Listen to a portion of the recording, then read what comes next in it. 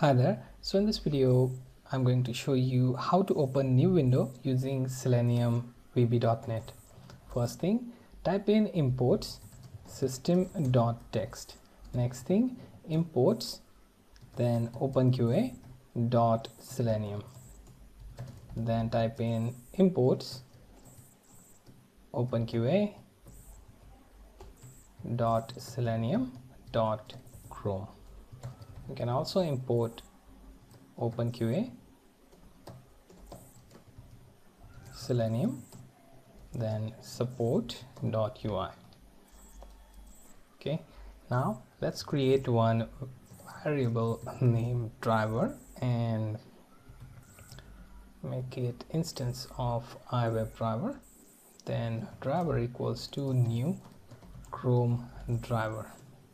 After that we navigate to and then go to URL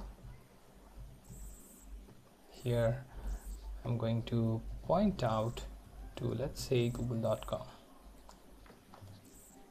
okay and then we will create one variable named element as iWeb element okay and make it check for driver dot find element.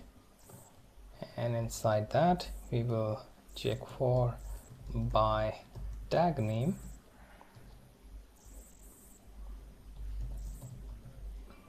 Body. Okay.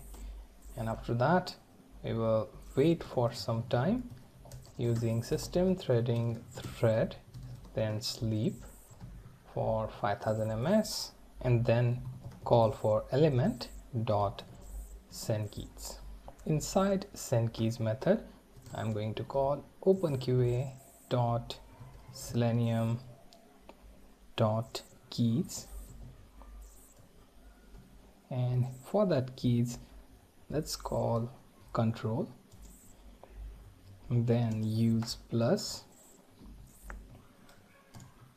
and use n. You may find that sometimes chrome doesn't respond to these control n keys. So in such case you can change this driver to firefox. We will see if it works. Otherwise we will use some other key combination for chrome. You can also use console read to read if any error occurs.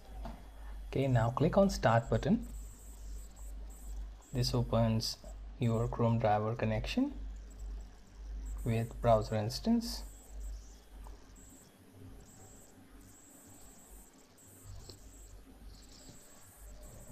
Now it will take some time and then it should open another window. Okay so it opens window for me but for some people this driver doesn't open multiple windows. In such case you can use control plus LMB option. Okay so I will cover that in another video. You can also navigate in between the two windows and go through different website.